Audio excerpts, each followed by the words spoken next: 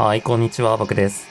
今回はこちらのゲーム、新女神転生4をね、プレイしていきたいと思います。えー、こちらの作品は、キプレイとなっております。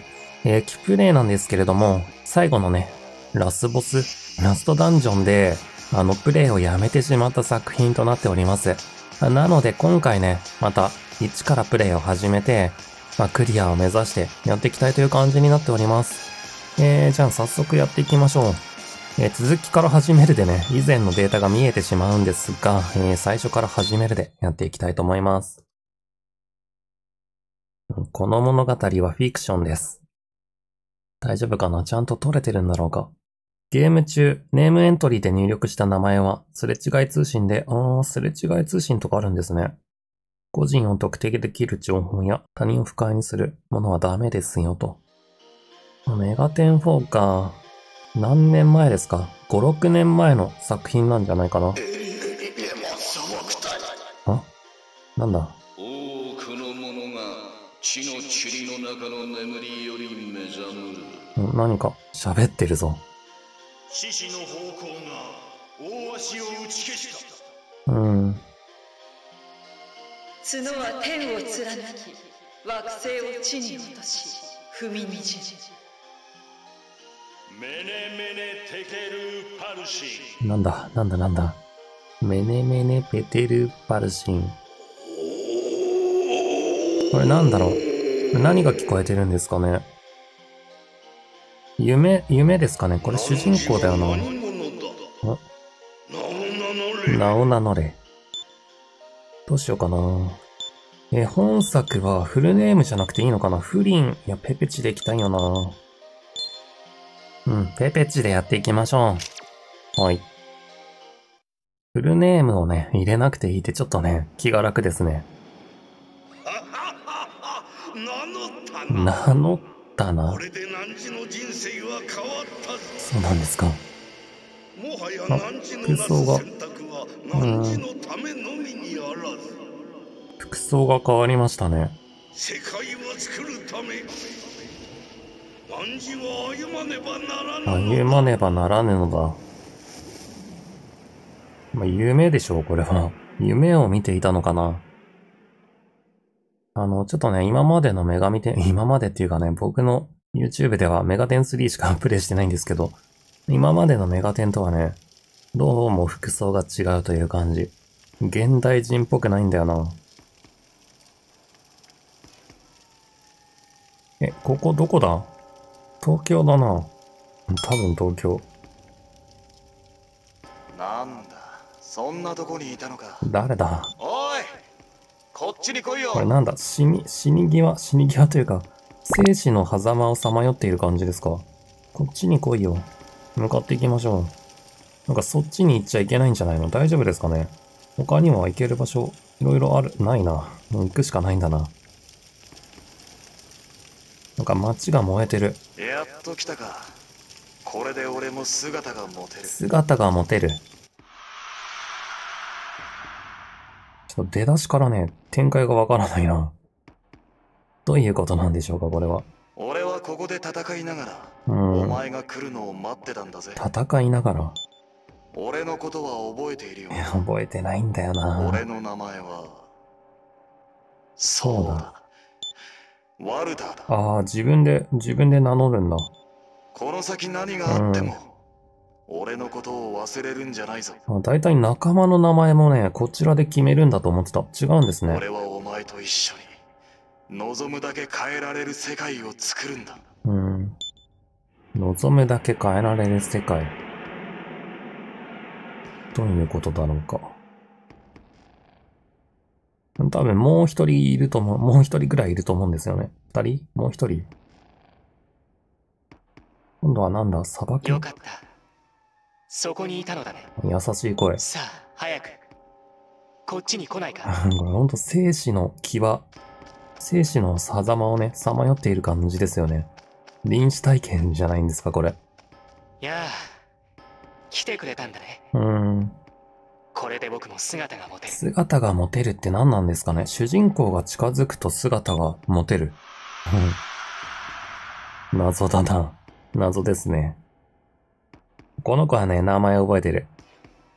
僕はここで祈りながらうん。君が来るのを待っていたのだなるほど。僕のことは覚えているよ覚えてる。ヨナタンね。当てます。僕の名前はそうヨナタン。ヨナタンうん。かわいいんだ、名前が。どうか忘れないでくれ僕の将来は君と共にあることうん、僕の将来は君と共にある。僕は君と一緒にうん。今日の安寧が明日も続く世界を作るのだまあ、平和そうな感じですよね、ヨナタンは。逆にワルターっていうのはね、もう名前から悪いですよね。だから、カオスルート、ロールートってあるんだっけな、メガテン砲。どうなんでしたっけ？まあ、相変わらずね、詳細、あんまり覚えてないんだよな。え？何か喋ってる。私はみんなのために、読め、蘇らなくてはいけないって言ってるのかな。ペペチ、私を、あ、あ喋ってる。喋ってくれてる。白いよ、この子。服が。白い服を着てるね。キャラクター、警戒するわ。映画展やってると。ん？ここかな？オープニングかな？今までのはイントロダクション的な感じですかね。アトラスのロゴが風化していった。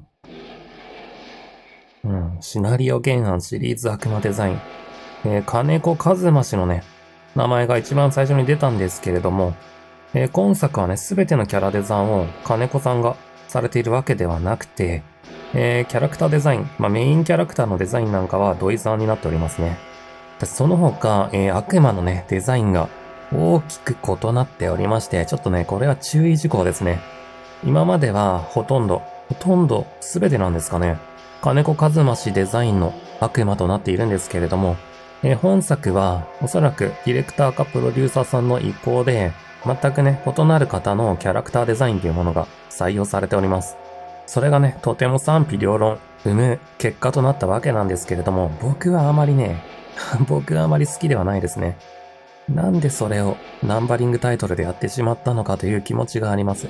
やるんであれば、ナンバリングのないね、外伝的なシリーズでやったらよかったんではないかと思います。まあそれはね、この後ゲームを進めていけば、おのずとわかるんではないかと思います。おい起きろ早くしないと遅れる遅れぬ。どこに？誰？やっぱりね、夢を見てたんですね。主人公は。お目覚めか？うん。俺もすっかり寝入っちまったよなんかね、登場キャラクターがね、現代人っぽくないんですよね、どれも。ここミカドコはミカド俺コ。とお前の思い出の場所だからななんだ？これが最後の昼寝だと思ったらなかなか起きれなくってさお前が起こす約束だったぞイサカルなんて野暮なことは言うなよイサカル。おっと口論してる場合じゃなかった早くガントレットの儀式に行こうん、ガントレットの儀式。うん、なんかいろいろね、単語が出てきましたね。ペペチはイサカルと共に、ミカド城城下町にやってきた。うようやく着いた村からここまで長い道のりだったなそんなに遠いのか。あ、村か。ここはまた別の場所なんですね。それにしても都は広い都か。どこで儀式をやるのか見当もつかないうん。田舎者な感じですね。あもしそこのお方うん時代がかってるよな。何用か何用か。上品な男。俺たああいやうん。私たちは儀式をえっと コミュ障かよ。カジュアリティーズのガキかカジュアリティーズ？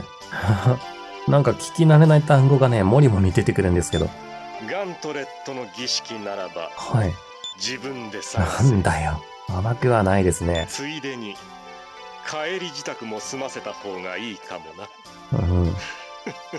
こんな丁寧な口調で罵られるってあんまりないよな。はあどうもどうも、感謝しちゃったわ。噂以上だなうーん。ラグジュアリーズの威張りっぷりはラグジュアリーズ。カジュアリティーズとラグジュアリーズ。まあ、カジュアルとラグジュアリーってことかな。まあ、上品な感じなのか。まあ、要するに貴族ってことだよね。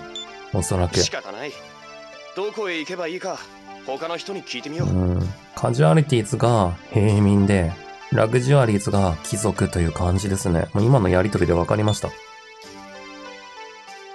え、どこへ行きますか？あ、選べるんだ。え、なにこれ？これ、ウォールマリアとかウォールシーナとかがあるんじゃないんですか？この形は。東の帝国？え、結構いあるんですけど。あ、待って、下に、下の画面に書いてあったわ。えっ、ー、とね、帝城があるんだな。三番街。どこから攻めますか？三番街、とりあえず周りから攻めていきましょうか。誰と話しますか？純朴な男性。うん、東の帝国は今日も快晴。昨日と変わらずの労働日和を。東の帝国西があるのかじゃ？あ。今日という日を与えてくれた神様と我が祖国の方に感謝しないとな。うーん。酒臭い男。あんたら、ここじゃ見ない顔だけど、どこの村から？あ、そっか。儀式か。今年ももうそんな時期なんだね。うーん、質素な女性。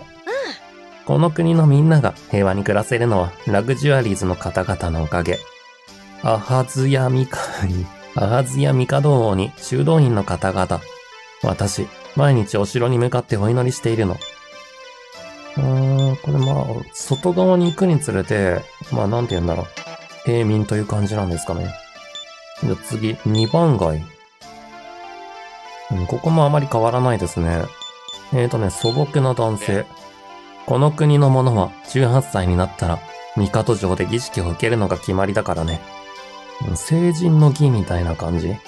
俺は生まれも育ちもここだから楽だったが、帝城から遠い生まれの者は大変だろうよ。うん。おしゃべりな女性。もしお侍様になれたら、お侍様ラグジュアリーズに大出世らしいじゃない。でも私はカジュアリティーズで満足よ。だって、神様に与えられた役割ですもの。ふむふむふむ。職人の男。今日が儀式ってことは、たくさんの人が帝城に来るんだよな。ってことは、俺も仕事のノルマ、いつもより増やしておいた方が。まあいいか。頭を使うことはラグジュアリーズがやってくれるからな。うーん、一年に一回そのなんとかの儀式があるんですかね。じゃあ一番街。巡回の侍、うん、今日も東の帝国は平和そのものだ。争い事が起こる気配さえない。他の国もあるのかなそりゃ民同士の小競り合い程度はあるが、あいつらに比べたら可愛いものだ。あいつら、何かを示唆していますね。やあ少年たち、ガントレットの儀式を受けに来たのだろう。ならば、帝城に入り、アシュラ像広場へ向かうのだ。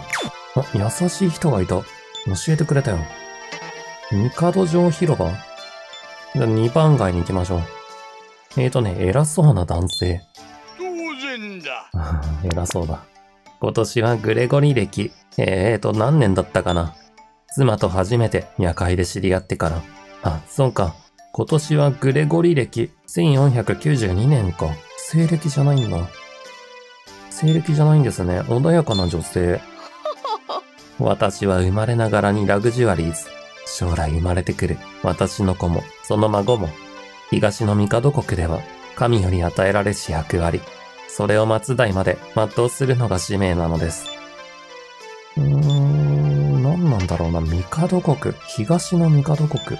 東って言うとね、どうもアジア、アジアというイメージがあるんだけど。えーとね、物静かな男性。うん。おや、君たち、道にでも迷ったか？ここはラグジュアリーズの居住区だぞ。まあ、我らが住むのは、東の帝国でも、この帝城のみだからな。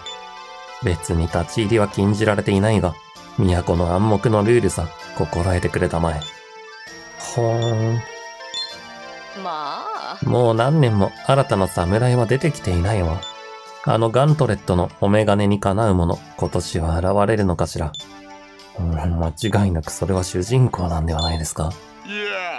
あ、これさっきのやつか城下町に来たのは初めてかい目的は儀式なのだろうが。オベリスク広場にも行っておきたまえ。この国の歴史に触れることができるからな。オベリスクがあるの？ここにも？アメリカにもあるけど。じゃあね、あ、ミカド城一番下にあったのか。ミカド城に向かっていきましょう。なんちゃら広場にね、行くって言ってたよね。これか、アキュラ像広場だっけオベリスク広場もあるよ。広場だらけだな。オベリスクに碑文が刻まれている。読んでみよう。どの部分？えーとね、な、なんだろう。遥か古より、この地上には神に祝福された我々と天使が暮らしていた。そこへ地下の国から汚れ人が現れ、勝手に地上で暮らそうとした。汚れ人は悪魔を召喚したため、天使はこれに応酬した。汚れ人は神が召された天使の道からに恐れ退き、地下世界へと戻っていった。こうして神に祝福された我々と、この大地は天使により死後されたのである。ふーん。そうだね。おとぎ話だな。天使も悪魔も伝説に過ぎない。うーん、侍の始祖。天使と悪魔の戦の折、天使を助けたある戦士がいた。戦士は汚れ人と同じく、悪魔を召喚して悪魔を撃った。魔法の力で悪魔を地下へ追いやった彼は、地上と地下を結ぶ道に強力な封印を施した。この戦士こそ、東の帝国初代王であり、侍の始祖、アキュラである。アキュラ、アキュラ。アキュラ王の偉大な功績により、今日、侍は国防の要と称えられるに至った。うん。そうな、侍だ。俺だって侍になれれば、俺だって。うん、侍になりたいんだな。でも何年もね、新しい侍は出てきていないって言ってましたよね。東の帝国建国。グレゴリー歴元年、初代王アキュラにより、この地に東の帝国が建国される。王は封印の地に城を建て、神を祀り、民もまた王に習い神に祈りを捧げた。神のもとに平等である民には、高級の平和が約束されたのだ。そうだね。ラグジュアリーズとカジュアリティーズ。身分に違いはあると平等のはずなんだ。うん、イサカルがちょいちょい出てくるな。イサカル。名前覚えました。えーとね、今のがオベリスク広場ね。城下町、まあ、どちらかしかないのか。じゃあ、アキュラ像広場。うん。ん？広場に人だかりができているな。もしかして儀式の会場、ここ？あ ここ？な、ペペチ。行ってみるかどうする？行ってみよう。即答だわ。うん、若者たちが列をなしている。ガントレットの儀式に参加する者はここに並びたまえ。かわいい声だな。己の順番となるまでしばしここで待つのだ。何人もいるのかな。いよいよ儀式か。そういえば村のじいさん連中に聞いたことがあるな。何を？儀式で侍に選ばれた者は帝城に住み込みだそうだ。うん、侍に選ばれたらラグジュアリーズになれるっていう話でしたよね。任務以外では故郷にも帰れないああ、らしい。そうなんだ。ひょっとしたらお前ともここでお別れかもなうーん。ん？儀式を終えた若者が広場から出てきた。不合格の者は速やかにここから出るのだなるほど。用はねえぞと。やっぱりガントレットは光らなかったガントレットは光らなこかった。の儀式は単なる形式だけのもの分かってたけど国が決めたことだしなうん。淡々としているな。少年は肩を落として、アキュラ像広場から出て行った。俺は侍になれるうーん。俺は絶対に侍になれる侍になれるかどうかっていうのは今のガントレットが光るかどうかっていう話なんですかね。それは何だろう成長することによって光るようになるのか、それとももうその人間の素質があるかどうかによって光るかどうかという形になっていくんでしょうかね。どうなんですかね。侍になってラグジュアリーズになるんだうーん。次の者前へまあありがちな田舎者が、うん上流貴族にね、なり、なる、なるという感じですか。手柄を上げるみたいな。俺の番が来たよ早いな。じゃあ侍になってくるよ侍になってくるよ。お前とはずっと友達だからうーん。イサカルは広場へと進んでいった。まあダメでしょ。しばらく後。それでは次の者ダメだったのか？そこの貴様だあ、僕ですか？早く。広場へ向かいわかりました。ペペチはち広場の中央へ向かった。イサカルは？どうなったんだよ、イサカルは。うん、こんな場所で緊張しちゃうな。すんごい人がいっぱいいるじゃん。